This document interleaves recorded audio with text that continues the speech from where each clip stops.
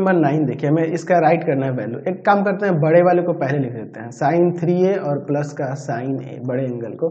और फिर यहाँ पे कॉस थ्री ए प्लस का कॉस ए अब फॉर्मूला ऊपर नीचे लगा दो।